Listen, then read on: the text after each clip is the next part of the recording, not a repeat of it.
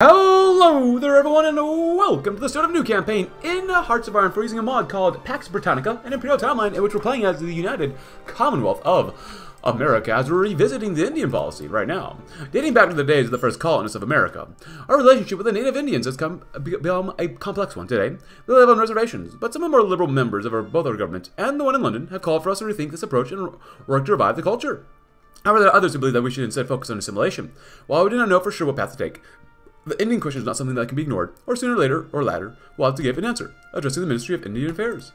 Um, so yeah, we're playing as the United Commonwealth of America under Calvin Coolidge. He's looking rough. Oh my God! It's 1933, February 25th.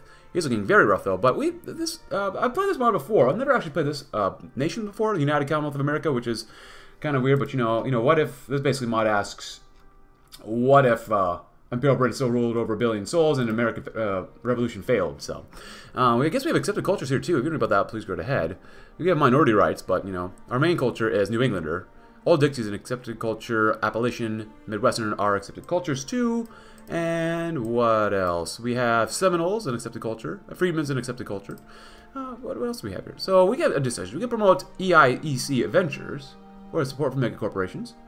Economic help to improve, begin to improve by a small amount. Um, or we can do a discourage EIEC expansion. Support from the mega corporations will decrease. So I'm not sure which way we're going to go, so yeah. I guess we just uh, Dol Bear Belcom to be available as a contract team. American Technical Exceptionalism. Hmm. Uh, versus what down here? Narco liberals with uh, Edison proposes mass electrification electrification plan. You in this way, promote bilingualism or discourage native languages in schools. Oh, that's interesting. Develop a Seminole province or establish an NEB. One Tesla Tower, Tesla Tower. Tesla, what is a Tesla Tower? Uh, radar stations, IT air, uh, research campus. Local factories plus 30%. Oh, this building allows the state to be connected to the global wireless network, a system designed to allow for easily accessible wireless power. System not connected to the network suffer penalties to industrial capacity and supply. Oh, that's interesting. Or we'd rather or have more cities in ag agroponics? Well, you can build either one. Really, I don't really care which way we go. Um, but anarcho-liberals, a current literacy, this seems like it would be good to do. Um, maybe we'll do and promote EI EC Adventures. Edison Electric may have been, had a disreputable standing in the eyes of those concerned with moral issues, but there's certainly no denying their efficiency and industrial prowess. They may be profit-driven snakes, they may be questionable in their treatment of employees, but they are a definite boon to our economy, and that's what matters. By granting special concessions and promoting buyouts to them, we can provide a definite incentive for them to expand their business empire and prop up our partially ailing economy. Don't have no drawbacks, we're told, but we must keep a watchful eye on them nonetheless. And now, also, we'll, we'll wait for that. Um, let's improve our literacy. Why not? Expand the New Jersey Technical Institute. What finer source of intellect does the nation have to offer than its youth? These fine snappers soak up knowledge like a sponge, and of course, it cycles back into our markets and government. The Edison founded New Jersey Technical Institute as one of the greatest points of cultivation we have for these brilliant minds, expanding funding for the establishment. will go a long way in improving our scientific standing in the Commonwealth, and let's not forget the international community. But we got a lot of things here addressing the Ministry of Indian Affairs, the Coolidge administration, has recently called upon the Ministry of Indian Affairs to address the issue of bilingualism versus an entirely English education curriculum for the United States or um, United Commonwealth Native American population. The debate's been, debate's been going on for some time, with arguments from both sides weighing on the matter. On the one hand, some officials argue that preserving bilingualism will preserve the cultural heritage of the Native American communities and provide a more inclusive educational environment. Others argue that a fully English education curriculum will be more practical and beneficial for the future success of Native American individuals and the broader society. So we're going down this route, which means we want to go down here, which means I'm going to ignore this, because we're not going to promote bilingualism. We're going to discourage Native American schools. So, complete promote bilingualism? Probably not. Discourage Indian languages in favor of the English. Yeah. Maintaining native language education has been more of a hindrance than a benefit, as programs to integrate the Indians into civilized society have long since stalled to halt. Clearly, more encouragement is needed for those tribes to embrace their way of life, while native language media should be defined and replaced with English-only services, while in school, uh, native children will be discouraged in speaking their native tongue in and outside of the classroom. And time will be no one left uttering anything other than the Queen's English. Seminole ministers protest policy changes. Ministers from the Seminole Nation protesting against the decision of the Coolidge administration to use a fully English uh, educational standard in Native American uh, regions. A Seminole Nation, like many other Native American communities, values the preservation of their language and cultural heritage. The decision by the administration threatens to erode those important aspects of Seminole identity. The ministers have argued that a fully English curriculum would lead to the loss of native languages and cultural practices, which have been passed down through generations. They call for preservation of bilingualism, arguing that's essential to maintaining a strong sense of cultural identity and community. The Coolidge administration, however, has defended its decisions, citing the need for a common language to promote unity and communication between the broader United Commonwealth. The administration has also pointed to evidence suggesting that students who are educated in English have better academic outcomes and greater success in the job market. Despite the protests, the Coolidge administration appears to be committed to its position on the issue. It remains to be seen how this decision will ultimately impact the Seminole Nation and other Native American communities throughout the United Commonwealth. Perhaps we can make some exceptions. Local manpower, less resources. No special treatment period. Uh, adds local unrest for 90 days. So, nah, we're sticking to what we have. But before we click on the bottom one, um, the current outlook of imperial reform is neutral. Imperial attention is currently 20%. The modern Imperial Confederation is a product of more than a century of reforms, regressions, and a compromise keeping the British Empire together. Initially formed following the Act of Autonomy that helped create the United Dominions, the Confederation has gradually expanded to transform the Empire into a supranational alliance of nations united beneath the British Crown. With a seat of Parliament power in uh, London, Great Britain, is able to manage many of the Confederation's economic and research affairs, including where and how to manage budgetary resources. Dominions and Commonwealth represented below have their geopolitical alignment, and measured by a percentage variable. The nation has an alignment with percentage of 0 to 50, less 50. They'll be aligned with the British sub-faction within the Empire. From 50 to 100, such nations will be aligned with the American sub-faction within the Empire. All other nations within the Empire not represented on the list below always side with Britain should an Imperial Civil War break out. Countries on the that are neutral also side with Britain. So, ooh. Interesting. Oh, we have a lot of American aligned stuff, aren't we? Oh, that's, that's interesting. Um, Carnegie doesn't care. Uh, Ireland doesn't care. Victoria's British aligned, as well as British African Authority, which we don't care about. Um, hmm, interesting. But we have managing domestic policy. The United Commonwealth's domestic policies are generally managed by supporting or discouraging particular interest groups. These groups maintain significant lobbying influence on the provincial and national parliaments, ergo, keeping their favor is key for conducting government as we desire. There are currently six major groups that hold influence in this manner. Or uh, freedmen represent the provinces primarily controlled by AFRAM groups, standing in opposition to the larger southern lobby that controls most of the Old South. Warhawks represent the expansionist elements of the government, and keeping them in power will allow us a freer hand in using force for diplomacy. Peaceniks, naturally, will attempt to restrain military action and diplomacy whenever possible. Mega corporations represent the influence of a corporate group on the Commonwealth, opposed by the various trade unions, while the union lacks international influence of the megacorps. They still represent a critical voting bloc for the parliament. So, we support uh, so freedmen support us generally, as well as Southerners and megacorporations too. Warhawks, everyone else is empowered. Hmm. Oh wow, support for the megacorporations will decrease. Acquire Edison expansion contracts. Corsair production quotas. Huh. Promote union membership. Interesting.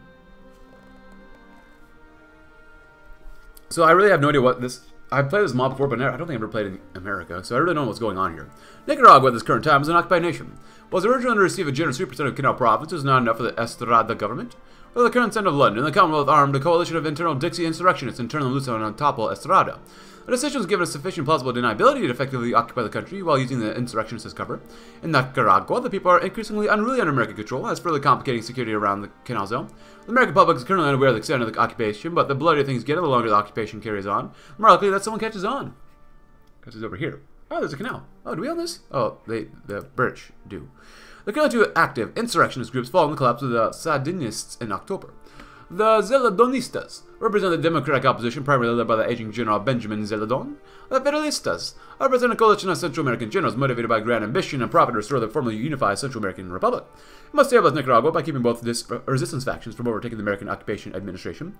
If despotist popularity drops below 10%, Stevenson's government will be in danger of being overthrown. Should this happen, Nicaragua will break free and potentially attempt to reoccupy the canal zone, severely stalling its progress. So the government popularity is at 44%, and other popularity is below that. Public relations campaign. It gives them more stability, which is nice. Or we can hamper it. Highlight rebel uh, atrocities. Or we can crack down on anti-American press. So, the co new constitutional republic of Nicaragua. They're a banana republic. Interesting. The reactionaries, liberals, despotism. Wait, who are you? Wait, what? Stevenson. Are you? Yeah, you're... okay, yeah, that makes more sense now. Interesting. Um, okay, well, they strike, if they do this, they'll get more popularity. And we imagine the military. While the world seemingly continuously shifting towards general war once more, our government should examine policies on our armed forces and see how we can improve them. Many global militaries, despite learning lessons from the Great War, are still in a state of stagnation. The mass adoption of armored land ships is limited, and many general staff offices filled with still men trapped in the 1910s. The future warfare is mechanized. We must modernize our military, national military in order to keep up. Decisions must be made uh, below will contribute to the modernization of the armed forces, represented in the law's tab. Decisions will increase modernization to varying degrees, and upon hitting 100%, we advance to the next stage of modernization. It's currently in the interwar era, and we're zero, so. We do this one, but we don't have enough things here to do this. We need 200 army XP. God dang it. Uh, but here we have a lot of laws. I don't think there's really much we can change, so we're going to spend a little bit of political power. I'm not sure what. Uh, crackdown on anti-American press, we might want to do that, maybe. Uh, increase power of the Warhawks, Peace peacenik lobbies. They're disempowered. I don't care. Freedmen versus Southerners, I really don't know. I want more stability, though. Increase funding for the Freedmen provinces or Southern provinces. Um, trade unions do not support us, which sucks. Promote union membership. Um, I just kind of see, want to see what happens. You know what? Maybe we won't do anything here. This was that political power anyways. It's fine. Uh, but there's different things here. Volunteer only, export focus, civilian economy, which sucks. Liu Qing Rebellion, okay. Odd automaton. End of China, look at that. Humans refuted? Oh, piano player. I want to become a piano player. Uh, civilian economy. Probably won't get at that, but we can't. We have parliamentary republic, or, or parliamentary monarchy, I should say. American idealism. And laissez-faire. We have Calvin Coolidge, which is a workhorse. Herbert Hoover sucks. Uh, Robert uh, Menzies is, eh. Wilbur here sucks. We have policies. We have limited disenfranchisement. Tasmanian Territory. It's independent free press, which kind of sucks for us, but not that bad. We have public meetings allowed, of course. Full equality, but then we have the racial segregation, so, yeah. And standard policing.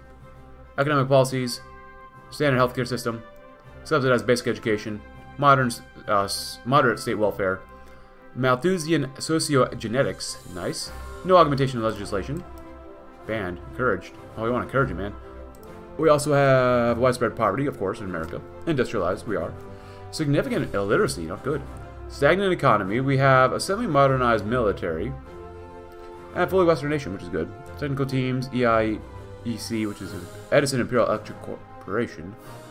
Uh, technical teams, we got plenty of technical. Oh my gosh, we got quite a few technical teams. That's really cool. Yeah, we probably staff here too, so that's pretty normal. But the automation crisis hits America. Well, auto, autom uh, automation crisis and the United Kingdom has spread to the rest of the empire, hitting the Commonwealth particularly hard due to their reliance on EIEC's economic investments. Over a million people have most instantly, almost instantly been put out of a job, including a number of American workers. Oh god. Situations led to a dramatic breakdown in the stability across the country, as people campaign for the return of their jobs, even stage riots to attack automated factories, leading to the conflict with the EI, EC, strikebreakers, and the Pinkertons. Get us some representatives on the phone now. Can I send volunteers? Oh my gosh. Kai E? Edison's counterattack. Prime Minister Coolidge was growing increasingly frustrated with the Edison electric company's automation policies, which were leading to widespread job losses and civil unrest. In a meeting with the company representatives, he demanded that they slow down on the implementation of automation and work with the government to mitigate the negative effects on workers. However, the Edison Electric Company was unwilling to compromise, arguing that automation was necessary for the company's long-term success and they could not be held responsible for the social consequences. The meeting ended with both parties angry and no solution in sight. Or no solution to the issue, I guess. Coolidge left the meeting feeling frustrated and powerless, as he knew that the government had limited power to regulate private companies. He realized that if he wanted to make any progress on the issue, he needed to find a different approach. Smug dudes. Real smug. So we get about a little over one a day. but Not much, but you know, it's a little over one. I want to send volunteers. Oh, Far East Administration versus these guys over here. Anti-automation riots. Riots have broken out in cities across America as people take up to the streets to protest the recent automation policies introduced by the Edison Electric. Government's decision to replace human workers with machines has led to the loss of thousands of jobs and many are struggling to make ends meet. Anger and frustration have roiled over, and clashes between protesters and police have become increasingly violent. Shops and businesses have been looted and destroyed, and the streets have descended into chaos. The government has been forced to intervene, but their efforts to restore order so far have been met with limited success. With tensions running high and tempers flaring, many fear that the worst is yet to come. Deploy the Mounties and get the people off the streets. Deploy the Mounties, huh?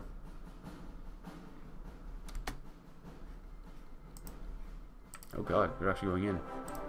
I don't think Russia has unique focus, do they? Uh, no, they don't. American Legion mobilizes the bonus brigades, a group of American pre-war or American War uh, veterans have gathered. in Philadelphia demand an early release of bonuses promised to by the government. The veterans who have been struggling to make ends meet in the middle of the in the midst of the automation crisis are determined to fight for what they believe is rightfully theirs. They set up the camp in their city, and their numbers are growing by the day. The government, however, has been reluctant to release the bonuses early. Prime Minister Coolidge has argued that bonus should be paid on schedule in 1945 and releasing them early set a dangerous precedent. He has also expressed concerns that the protests could turn violent. Despite these concerns, the bonus brigade remained determined to see their demands met. They've been holding peaceful demonstrations throughout the city and refused to leave until their demands are met. The situation remains tense as many worried that the protests could turn violent if a solution or resolution is not turned or reached soon. Let's hear them out at the very least. Yeah, it's always good to hear people out, you know, at the very least. You never know what might happen, but it's always good to, to hear them out. Mount Everest conquered. Nice. Good job, guys. The EIEC sent a short letter uh, uh, stating their support for a decision, and to boot, they've ordered the expansion of the British factory complexes in order to encourage us to maintain this path. While one might consider this to be extremely corrupt, the argument could be made that we're simply cooperating with our economic partners. Who said greasing some palms was a bad thing? Ooh, Alpmath Civvy. Yay. Exclusive contract to the EIEC. Our military is for the most part bound to the will of London. It is as well equipped as desired by His Majesty, and our capabilities from a standpoint of armaments can be often lacking. However, Edison Electric has a fine loophole for this issue. While trusted by Britain, the EIEC had hold no true loyalty to them and must act in the name of profit, nothing more, nothing less. By further integrating the EIEC into our military-industrial complex, we could benefit considerably and reduce our reliance on directly or on direct supply from London. General Butler endorses the Legion. General Smedley Butler, a retired Marine Corps officer and outspoken critic of the government, has emerged as a prominent voice in the ongoing bonus brigade crisis. In a recent speech, General Butler advocated for a peaceful solution to the crisis, calling on the government to honor its promises to the bonus brigades. General Butler has argued that the bonus brigades have every right to demand the bonuses promised to them by the government, and the government had a moral obligation to pay them. He urged the government to avoid the use of force in dealing with the protesters, and instead negotiate a settlement that would satisfy both sides. Many praise General Butler's stance as a voice of reason in a time of crisis, while others have criticized him for advocating for what they see as an unjust demand. Nevertheless, General Butler, his words have resonated with many Americans, and there's a hope that his message of peace and reconciliation may help bring an end to the crisis. Him to keep his nose out of politics. Without Butler's support, we may have a greater difficulty negotiating terms with the Legion. I honestly don't. I won't do the top one, but you know what? Let him do that. And also, where are we at with this? Um. Oh, Irish autonomous provinces. Raj. Oh, those are our allies. Irish Citizens Army. Well, we're going to kill some Irish, I guess. I don't think I want to send any divisions over. I'd rather just send planes. So.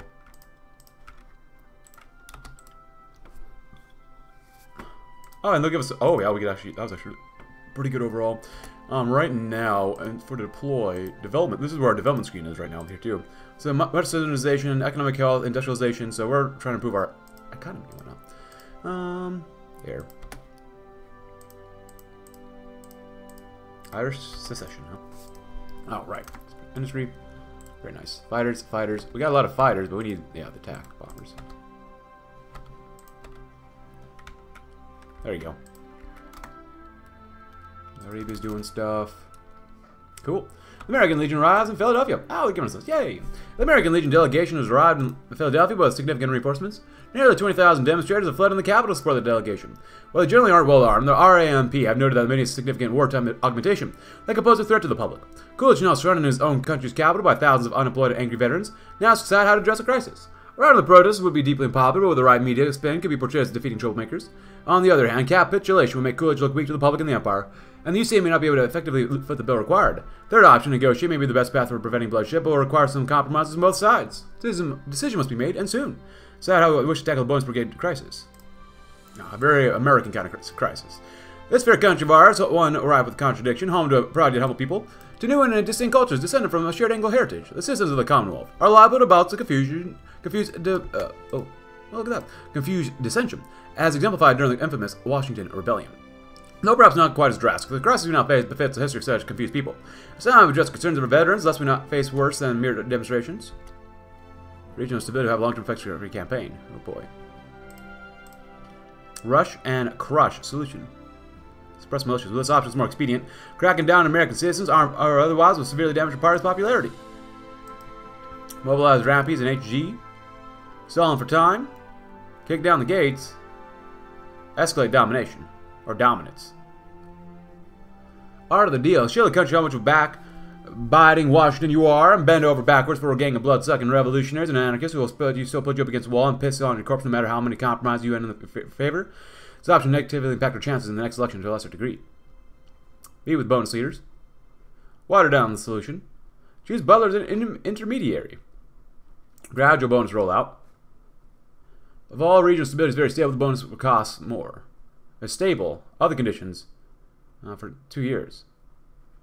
Total bonus plan reorganization. But bonus brigade crisis will come to an end. More civilian political power, which I do like. But we get that same one right here, too. How about art of the deal? As the bonus army marches on the capital, our leaders have been working tirelessly with London to determine the best course of action to take. But recently, more and more people have begun to realize the obvious solution to the problem, simply paying them. It's quick, politically popular, and non-violent. While we must, of course, determine exactly how much to pay for who, we can go through the demands and perhaps reach a compromise on what they want. Sometimes the most obvious solution is truly the best option. Well, I don't know which way is the best option, but whatever. Unrest, if not completed, we lose 20% stability overall, probably. Very stable, very stable, very stable. Bonus Brigade supports clash with authorities, just like this morning. Bonus Brigade supports clash with authorities throughout the Melbourne super colony, causing significant damage to the lower sectors. The riots have completely paralyzed cities, leading to widespread looting.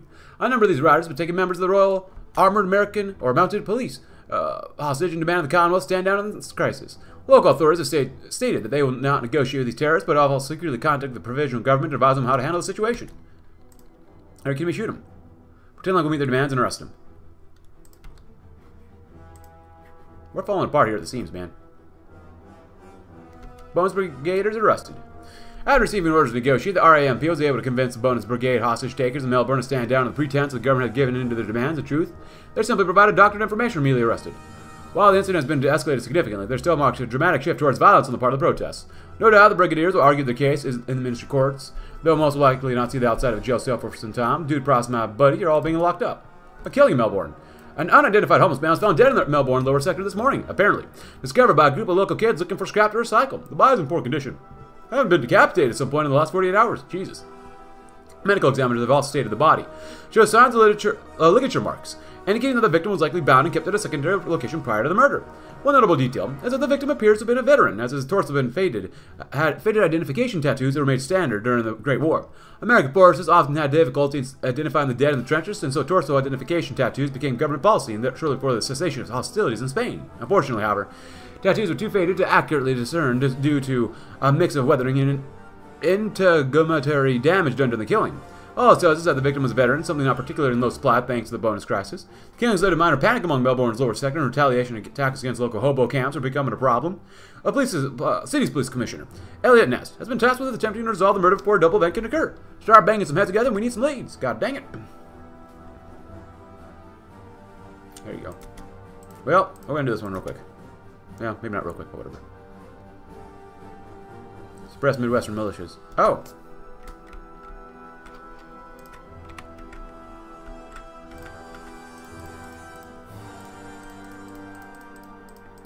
This is a weird America we're looking at. United Commonwealth not strong enough.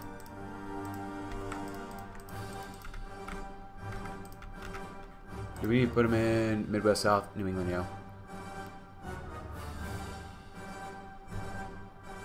When aborted.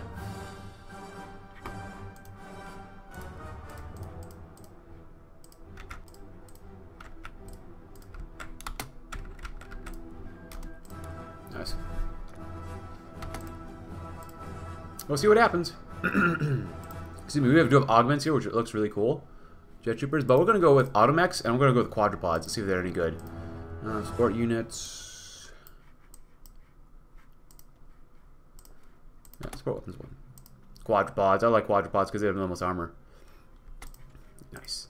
Light tanks, we'll still use those though, for, for now though.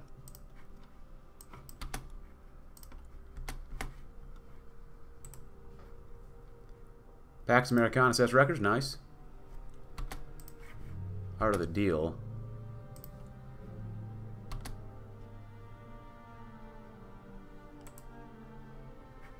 I mean, you know what? What be like banned New England?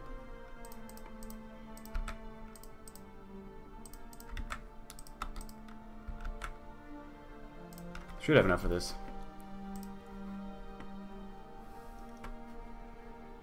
Melbourne torso killer strikes again.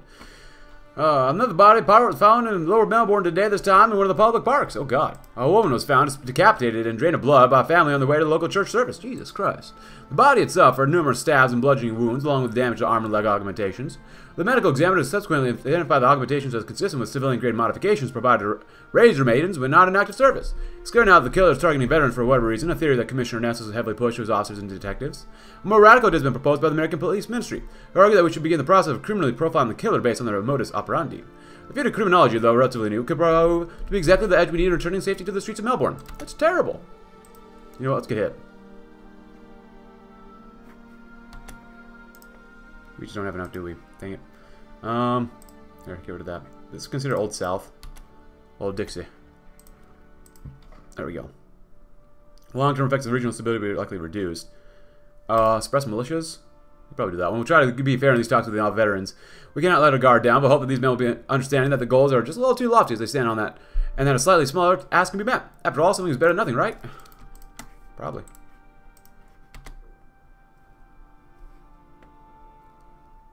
Added another 50 days to it. Music redefined. Meeting with bonus leaders. Sitting down with the leaders of the so-called bonus army may yield some rewards. When of them jerk us around, many will say talking's a waste of time, but it's far preferable to alternative solutions. We'll meet with these leaders and hopefully they can be convinced to lay down their arms and get back to serving this country. Hopefully.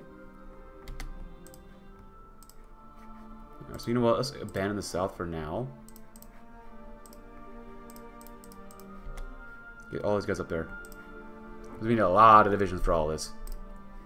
There you go. Uh, I'm to board it. 14 days. Of course, we could have waited for this, but whatever. Midwestern militias. But we do have this one being done too, which is good.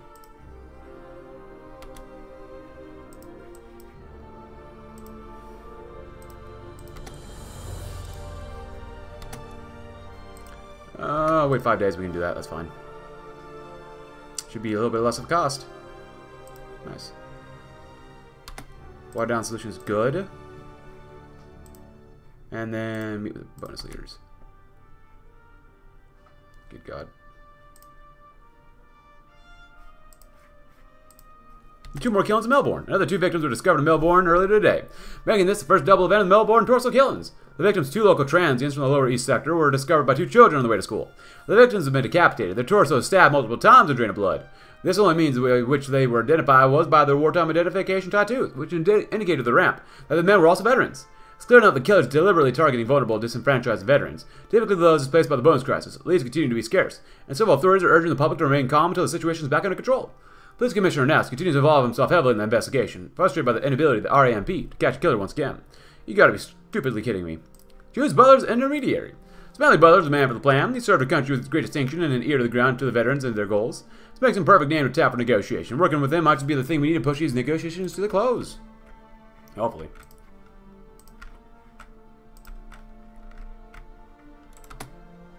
Come on back over.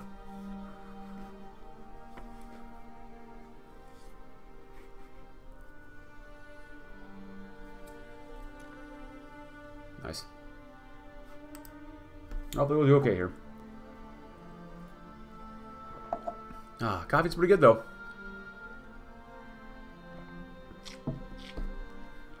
Oh, 33% stability, huh? Oh, now it's 23%. God dang it.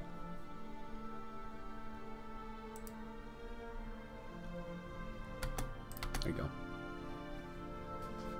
Let's get more arming speed now right now, which is pretty good. God, it's so long to do this. Jesus. Probably do total plan reorganization. Gradual bonus rollouts. 360, 720. I'd rather have the penalty done now, in all honesty. Spain joins the pact. You're best be word. Maybe next time we'll just kill off everybody around us. So. International telescreening, huh?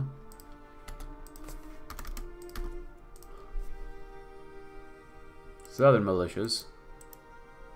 New England militias.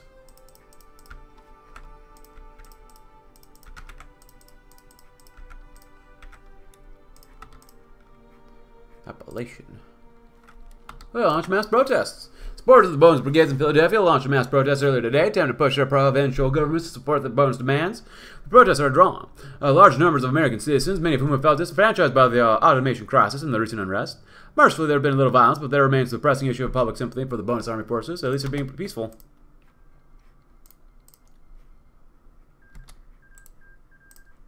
And now New England stuff, too.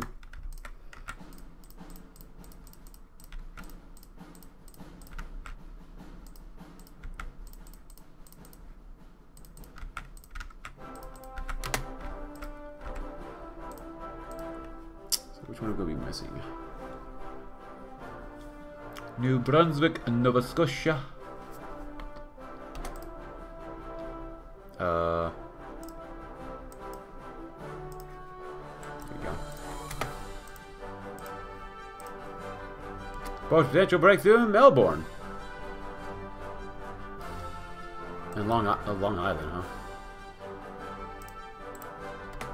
Investigation Melbourne's had a breakthrough. Criminal Profit. profilers have identified the killers. As having a killer anti-veteran bias, but also note that the stab wounds on the victims are consistent with the combat afforded or combat treated afforded to American shock troopers in the Iberian campaign. Stab wounds are also consistent with the combat knives issued to these shock troopers, particularly serrations on several points within the stab wounds themselves. Following upon this, the RAMP indexed Commonwealth records for individuals who served within the American shock trooper forces during the war and turned up several results. Please begin to work to locate the individuals mentioned within this system and report back the results as they are found. We might be getting somewhere.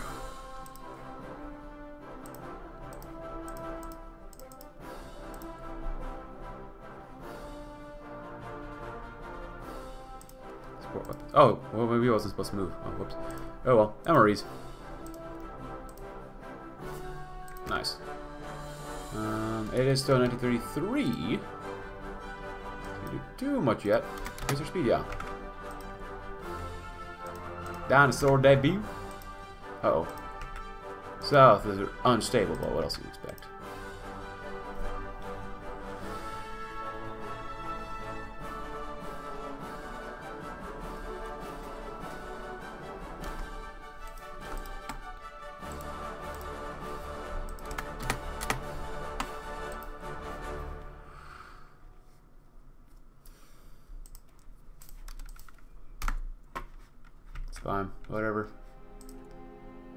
After that, that'll be done, thank God.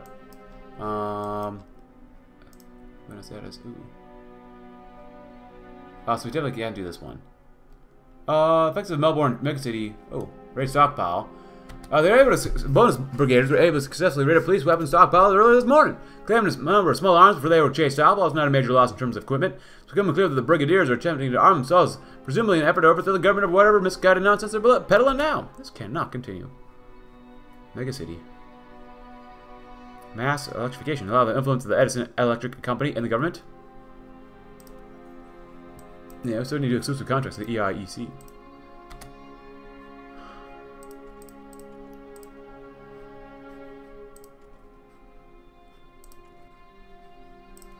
Medium frames, I mean, that's not bad. I'd rather have engines, though. Unstable, unstable, unstable. Well, welcome to America. Have very much here.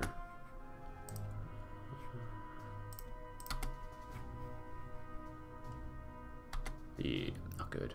Not good at all. That carrier is not even that great either. Yeah.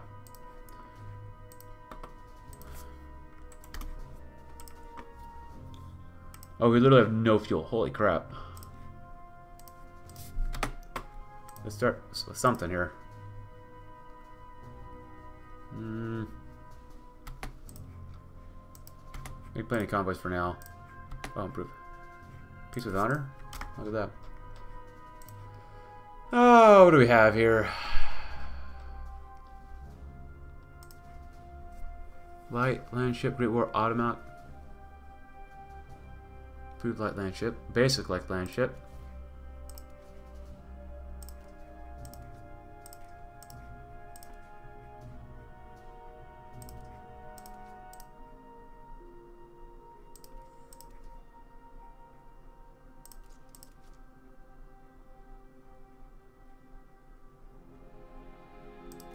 Want to slow this down too much. Basic radio is pretty nice. We don't do too much else here, really. Armor's not bad. Production cost goes up by quite a bit, though. But not that much.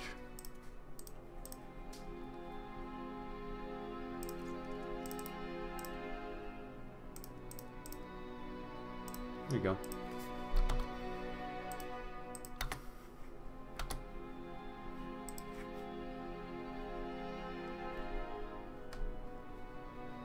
Come on, get it before you get hit again. We're very unstable now. There you go. Nice. And with 3% stability, the dust settles on the crisis. Many politicians and citizens believe that Coolidge did not do enough to address the concerns of the veterans, and his lack of action led to the violent removal of the veterans from the encampment in Philadelphia by the military. Some even called for his resignation over the matter. Coolidge has defended his actions, saying that he has to uphold the law and maintain order in the city. However, the controversy surrounding his response to the crisis has only grown and made it a call for further investigation and accountability. The bonus army crisis remains on on the Coolidge administration, and protests and unrest continue even after the end of the general crisis itself. Preventing a revolution, this is how we get thanks? Hey, we have no stability, of course. Why would we?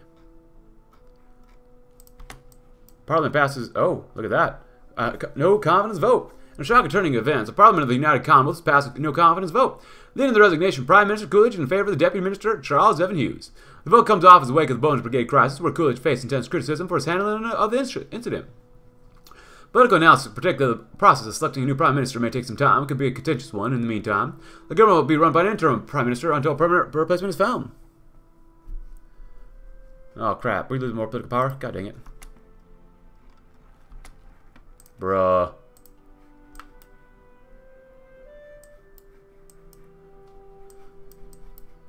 We have all sorts of stuff over here too. Liberty and Progress. Liberals. That's a huge tree. Huh. Philadelphia calls for fresh elections. Prime Minister Hughes, after the resignation of Calvin Coolidge, has called for early elections to strengthen support for the federal Unionist Party. The comes after the conservative government faced severe criticism for their handling of the Bonus Brigade crisis, crisis which saw thousands of World War I veterans campaign, camping out veteran, in Philadelphia to determine the promised bonuses led to a violent confrontation between the protesters and the Royal American Army. The interim Prime Minister has promised to address concerns of the public and improve the government's response to the crises. He has urged citizens to come out and vote for a stable government that can steer the country through these difficult times. Hughes has also promised to prioritize social welfare programs, support for the veterans in the upcoming elections. The opposition parties have welcomed the move for early elections, calling it an opportunity for the people to hold the government accountable for its actions. The campaign for the elections already started, with parties unveiling their manifestos and holding rallies across the country. Elections are expected to be fiercely contested, with the opposition parties seeking to capitalize on the government's shortcomings and the public's dissatisfaction. Against all odds, the federal union remains. Special elections. Progressives finally get a win. Stand for an altern alternative in office. Social credit. What the heck? I honestly have no idea what this is. John Curtin for Liberals. Conservatives, Hughes. Um, special elections conservative. Well, we're a conservative party right now. Um, anarcho-liberals, von, von Mosley.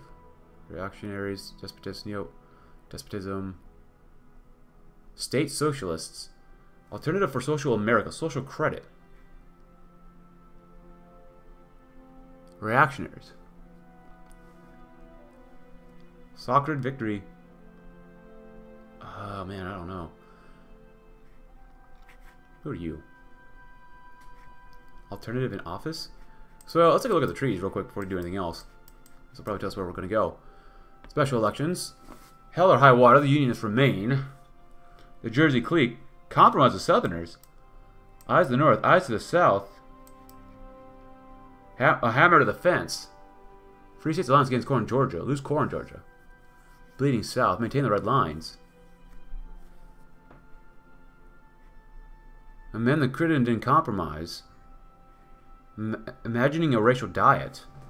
Separate but equal provinces. Demilitarize white mobs. Corner the secret empire. Litigate white militias. Pro-Dixie rhetoric. Preserve the literacy tests. Eyes to the north, labor purchases. Spurned by London. Protective provinces. Eyes to the west. So that's a conservative route. Let's see. So the Liberal Party route versus Indian policy. This Loses corn Samoa. Never consider accept a culture. Americanization effort. Ooh. We draw Indian majority districts. Ooh. That's cool. Spectre of Lady Economy. Imperial tension will increase a little bit more. Negotiate America's contribution.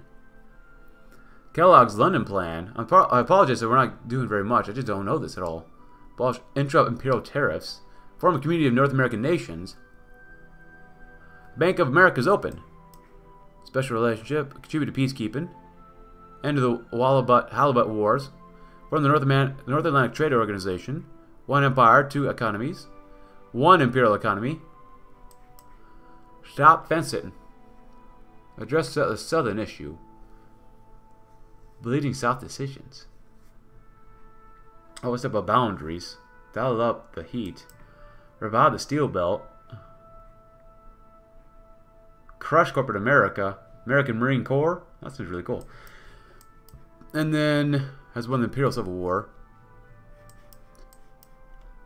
And then America for the Workers. I apologize for taking so long again. National Workmen's Party? Oh, they're socialists. How do you get socialists? The alternative for social America. Social system. Reactionaries. Begin the social credit experiment. Find discrepancy. Promote A plus B theorem. Distributive economics. Denounce barter economics. Inspiration from Keyes. How do you say that? I think it's Keyes? Prosperity certificates. Establish a national stipend. Synchronized movement. Oh, that's not bad. That's actually really good. Virgin Lands campaign. The Hungarian wing of the Socrates will be empowered. Freeman and Southerners both like this. Take on imperial banking. The Party for the Working Man. Working America. National Poverty Relief. Party for Modern America. Engineer a Social America. Melbourne as a clean city. So this is like technocrat stuff. But rea that's reactionary. Push for democratic redistribution. Pro process of encouraging population movement out of the Melbourne super colony to other regions of the Commonwealth. While popular, reduce the population burden in the megacity and allow successfully develop it for future generations. Symbolizes birth control. Oh wow. The South knows best. Ooh. Reinforce Crittenden. Denounce Collinson's doctrine. Gospel social justice. That's not bad. Plus 2,000 weekly manpower? Holy crap. A little moral augmentation. Criminalize steel disfigurement. Limit the abolitionists. National alcohol ban. Threaten the Masonic threat. Target them. Charge against money changers. Oh, no Jewies here, huh? A nation for all Christians. More America aligned. Anti-Catholic doctrine. Hmm. Rectify the potted divide. Well, I don't know. I like all these. They're all very interesting. Um, Liberal Party seems interesting. So I apologize for taking so long with it. I might just go with the conservative option, maybe? Oh, maybe, maybe not. But there's more, there's more open things here you can do, it seems like. Because you face the South, you got face that, you can face a whole bunch of different things. Um, maybe I'll go with the Liberal Party. Progressives? No, it's Progress Party, though. Progressive victory with uh, Liberty and Progress. Which I assume is the Liberal Party, so. Uh, we could try it. Yeah, we'll try it. Surprisingly, after the Progressive Party has won a majority of seats in the United Commonwealth's national elections. This marks a major shift in the country's political landscape, as traditionally dominant Conservative Party has been relegated to a minority position. Analysts say that the election results reflect a growing dissatisfaction among voters with uh, the status quo and a desire for change. The Conservative Party has vowed to regroup and remount strong opposition in the coming years, but for now, the Progressive Party holds the reins of power in the United Commonwealth. The torch of idealism is lit. I like this idea, but stop fence sitting. Why not? The Progressive Party will take a strong stance against segregation policies in the South that are working to dismantle the laws that have perpetuated racial inequality and discrimination for decades. The party sees these policies as a violation of basic human rights and is committed to eradicating them. It's election season in America, and tensions are high as citizens head to the polls to cast their votes. Uh, many are eagerly watching the results come in, curious to see who'll come out on top. And as the final tallies are counted, it's going to clear the Liberal Progressive Party led by John Curtin that has emerged victorious in several key provinces. It's a major win for the party, which has been campaigning hard on issues like social welfare, education, workers' rights. But the rest of the test yet to come. Will Curtin be able to unite his party and deliver his promises to the people? Only time will tell. But liberal electoral victory. In a historic election, the Progressive Party has emerged victorious in the United Commonwealth, uh, with John Curtin at its helm. Party has won a significant margin, promising a series of reforms to improve the lives of ordinary citizens. Curtin and former labor union leader, has vowed to prioritize workers' rights, increase public spending on education, health care, and promote a more inclusive society. The new administration's pledge to work towards greater equality, diversity, and social justice, and to tackle corruption and corporate influence in politics. The victory of the Progressive Party signals a new era in the United Commonwealth politics, with potential for significant changes to come. Path of progress has been laid, fourth victim identified. Fourth victim was identified by Melbourne lower sector coroners Martin Donaldson, sharpshooter of the 85th Shock Troopers Corps that served in the Iberian campaign. After doing further research, of course, we've uncovered that at least two of the other victims were also part of the 85th. Well, go figure. And so all draw, draws a clear line of the potential identity of the killer, though police are still searching through Melbourne for further suspects. It's notable, however, that the 85th was directly involved in the siege of uh, Valladolid and suffered significant casualties. Curiously, the army records on their involvement has all been heavily expunged outright classified. Get results now, or get get them now. Get them now.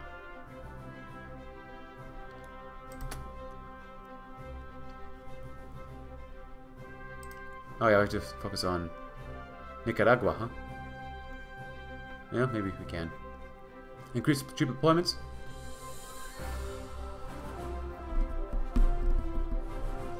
We're gonna launch a campaign.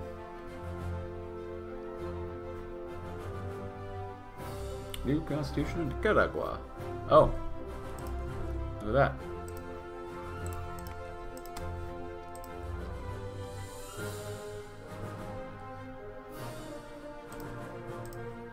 Stop fencing.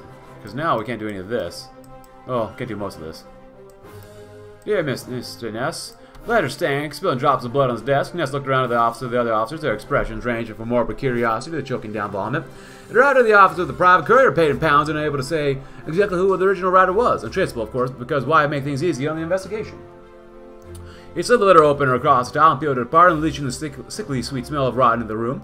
Officers backed away, few running for garbage bins of vomit. Ness held his breath and reached his gloved hand into the envelope before dumping the contents onto his desk. A rotting human eyeball tumbled out, still dripping with a congealed clot of blood. Ness could only guess which victim it had come from. The heads of the last two still hadn't been found. The letter within was smeared and shoddily written, but with some effort he could rank out the words. Dear Mr. Ness, I'm so sorry for what I did to these men, but you must understand the importance of my work. We need retribution for what we did, and once my work is completed, you will receive my confession in full, and eye for an eye will make the world right. Dear God in heaven, what the garbage is this? As we revive the steel belt. So what do we have for, for uh, National Spirit? One of our two systems.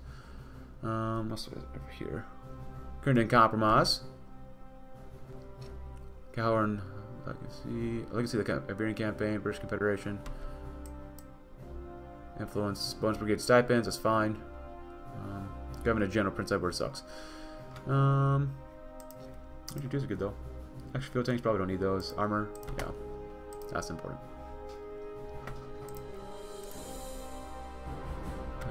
Uh, a southern issue. There's been a considered effort to revitalize the steel belt by redeveloping former industrial sites, promoting new business investment, and creating job opportunities. Their development efforts aim to create a modern, diversified economy that can sustain the region's future growth and prosperity, with a renewed focus on innovation, uh, entrepreneurship, and technology. The steel is poised for a new era of success. Nice. We can do that one. We'll do one of these first. Expand Majestic 11 operations. They walked into danger blinded is fully, utterly foolish. You must know your enemy, and thankfully we have the perfect way to do just that. Ministry 1. Our national intelligence search is almost unparalleled on the field and can certainly serve as eyes and ears of particularly rebellious regions. By expanding our funding and activities for Nicaraguan operations, we'll have more secure understanding of rebel activities and how to combat them. Yeah. Definitely so.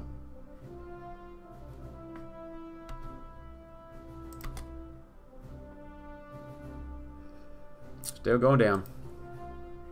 There's this guy. Die-hard reformer. My god, do we need some stability. But we do have old Dixie here, too. Or, I guess, New Dixie. Jackson, over here. Kansas, Stevens. Look at Bob. Bilbo. Bilbo. Katie, of course. Probably Tejas.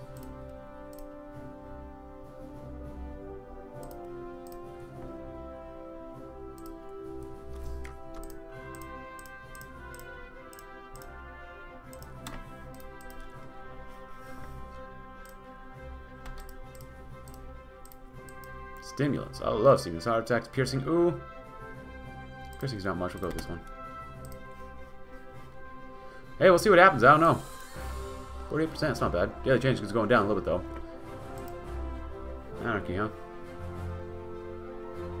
But do we care? Fifth victim identified. Fifth victim was just found on outside this morning Melbourne. This time dumped in the park just outside the Lower Melbourne Police Department. This message is clear and obviously intended for the police commissioner Ness. The body was once again lacerated multiple times with the head removed with some kind of blunt object and the body drained of blood. Notably, the identification tattoos had several cuts around them in the shape of arrows, clearly meant to draw attention to the individual's identity. The man in question is Herbert Creeley, an ex-officer within the 85th Shock Infantry Corps that served in Iberia, just like the other identified victims. He was notably dishonorably discharged for inappropriate conduct during the siege of uh, Valladolid. However, like other victims, his records were expunged by Majestic 11. Killer is either mocking us, he's trying to send a message. We cannot have panic in the streets. We cannot. So we're going down Superior Firepower, which is not bad. Mass assault. I guess we're going to go down this way. It's 130 though. We don't have to spend it immediately. We can just hold on to it for now.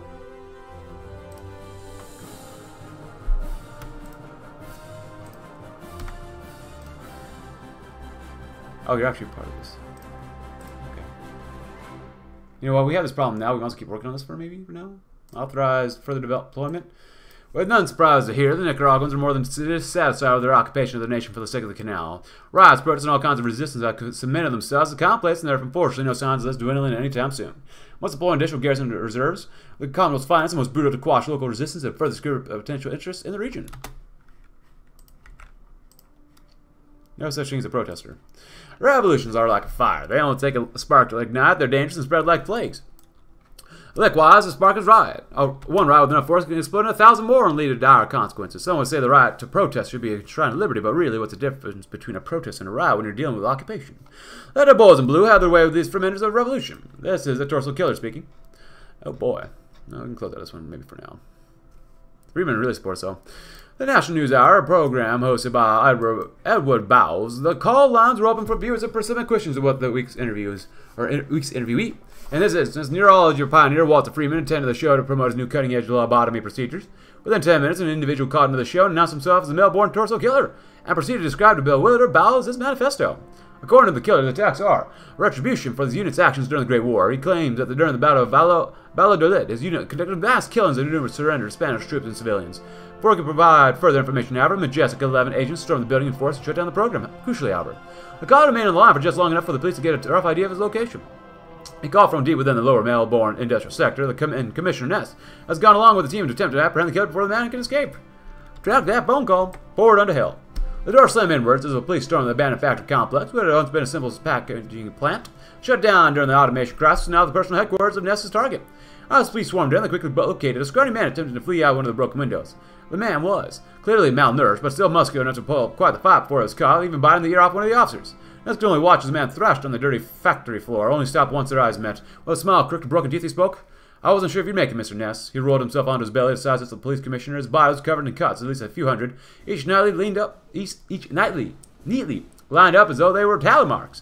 They don't, they don't teach you fellas what we did in the war, do they? They think they put that in the papers? Ness sneered, almost instinctively, kicking the bound man in the stomach. Shut your teeth, or shut your mouth, freak. You're going straight to the gosh darn sheriff if I have any say in it. Killer seemed unfazed, kept rambling on and on. His words become borderline incoherent, like mine. Did they tell you about the church guy? We, well, we round them all up. Everyone was so tired, dog tired, to take a shot at us on the march up. Cracked Johnny's mask. They were still gassing the air, you know, invisible. Dead in an hour. Well, watch it happen. We found, we found the girl that did it. What did it? Nessie boy. And you know what they did to her? Commissioner stood there silent. The rest of the officers unsure what to say. Killer started to shake, his knees buckling, and he kept babbling in between bouts of tears and snot. They cut her up bad, man. They cut her up and they had her. And they shot up the whole church she was firing from. I watched them do it too. I couldn't do anything about it then, but I had to make things right. I had to make them pay, man. I had to. They weren't right for what we did back there.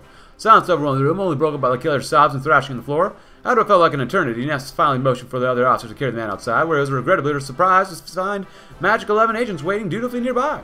They were above his pay grade, and thus were little that he could do to stop them as they took the killer in tow and set up a cleanup crew into the factory. Maybe there's no real justice in the end. Probably not, but whatever. You like to think there would be.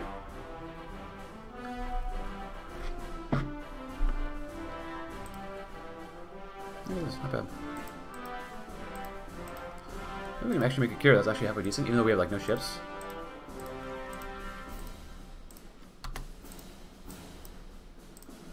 We should probably research some better stuff here. Trial Carl McPherson. Caleb identifies Mr. Carl McPherson, a former soldier and a veteran of the Iberian campaign. His records indicate that he's involved in the siege of Valladolid. Those expected, Majestic 11 uh, refused to release any records on his involvement in kind of civilians massacre. In fact, the agency went so far as to claim that McPherson was uh, delusional, in fact, corroborated by his appearance in court. McPherson was functionally catatonic by the time he reached the courtroom, and the trial proceeded relatively uneventfully. Commissioner Ness claimed that McPherson's appearance and temperament was inconsistent with how he was at the time of his arrest, however, the Commonwealth military and MJ11 countered by claiming that McPherson had been rendered an unstable invalid long before entered police custody.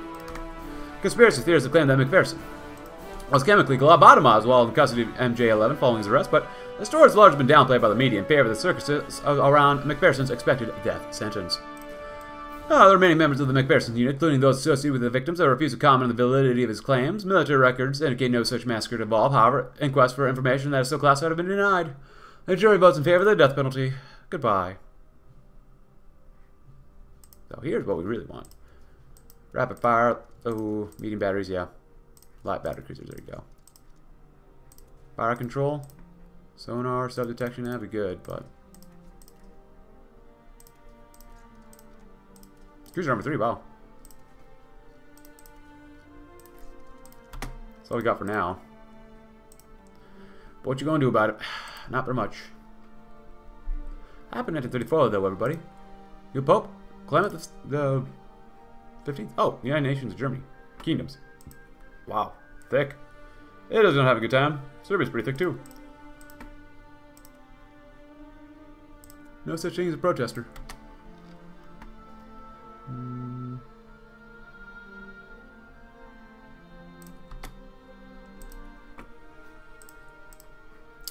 Make empty promises. Westminster's undoubtedly mastered the art of native pacification from local rulers to their regional concession.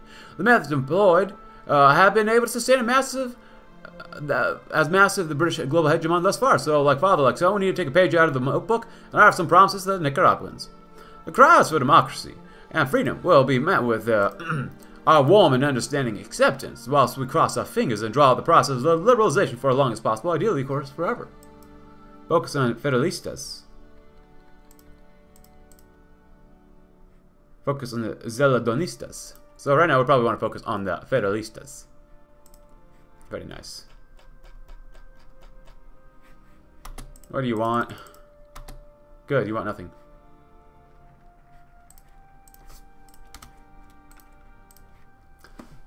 Um, Great Baltimore, nice. Focus on the Federalistas. With the resistance to our military presence in Nicaragua growing daily, we must strike while we have the wide public support. Can further be assured by proving ourselves capable of defending the region against the rest of peace. And uh, the Federalists are a perfect candidate for this. A reactionary group, there is little sympathy for them with their own borders, meaning they can be easily be vilified through propaganda and create an easy morale boost, thus making them obvious starting for Operation Musketeer. Nice.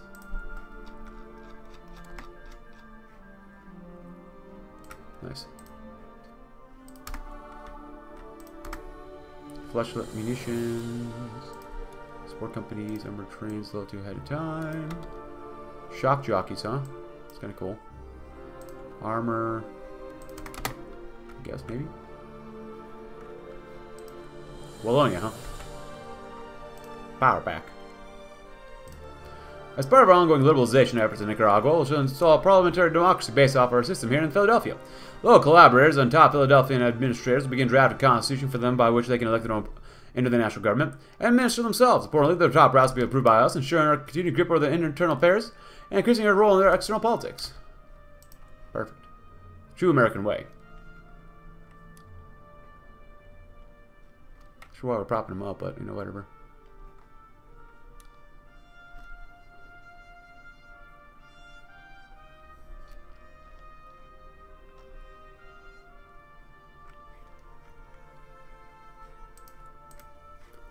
Nicaraguan Reconstruction Plan. British occupation hasn't come out of cost. Constant localized uh, insurrections and riots have led to countless damage uh, to industry and key institutions has led to severe economic difficulties. Not to mention exploitative practices by the empire itself by pumping some vital funds into the industry. Problem with the administration slowly but surely make Nicaragua reliant on us economically.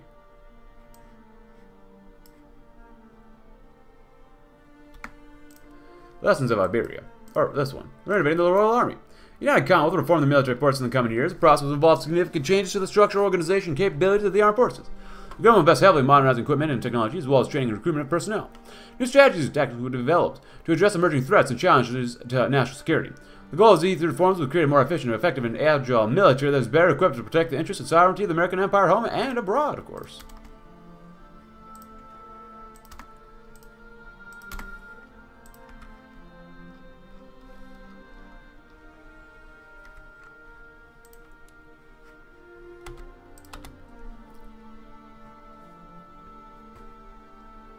You know what? We might as well do this one. So, we select we lose 100, 200 army XP for 100 days. You lose a lot of army XP from fully removed. Move to get fully modernized military, which is pretty good actually.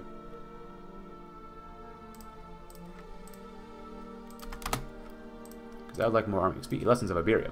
The United Commonwealth was heavily involved in the Iberian front of the Great War, which honed our military forces into a cutting-edge organization. This war saw the introduction of new technology such as machine guns, automats, and chemical weapons, which caused significant casualties and made traditional tactics ineffective. A traditional strategy of frontal assaults where troops would charge the enemy lines proved to be ineffective and costly in terms of lives lost. Instead, a new strategy of trench warfare was developed where soldiers dug into the ground to create elaborate systems of trenches and fortifications. Ooh, more cities. I like that too. Expand industry in the Midwest. As for the Com United Commonwealth continues to modernize its armed forces, the demand for advanced military technology continues, such as drones, missiles, and armor plating is increasing. To meet this demand, companies in the Midwest are investing heavily in research and development and expanding their production capabilities. Did I read this one? Yeah. Yeah, I read this one earlier, I think. So, pay for eight-hour workday, huh? Renovate the eastern seaboard. That wouldn't be bad too. Oh, immediately gain two carriers and two cruisers, huh? The east coast of America has always been a hub of economic activity, but recent efforts have focused on expanding industry in the region. From the bustling cities of New York and Boston to the smaller towns along the coast, new factories and manufacturing centers are popping up all over. These efforts are aimed at creating more jobs for workers and providing a boost to the local economy. Construction of new infrastructure such as highways, bridges, and rail lines is also underway, helping to connect the East Coast with other parts of the country and facilitate the movement of goods and people. But I think I'm going to end right there, my friends. If you enjoyed the video, though, leave a like, subscribe if you're new, check out my Discord link in the description below, and I'll see you tomorrow. I'll see what else we can do, and uh, ooh, uh, see what America's got. At least the United Commonwealth of America, that is. Thanks for watching. Have a great rest of your day.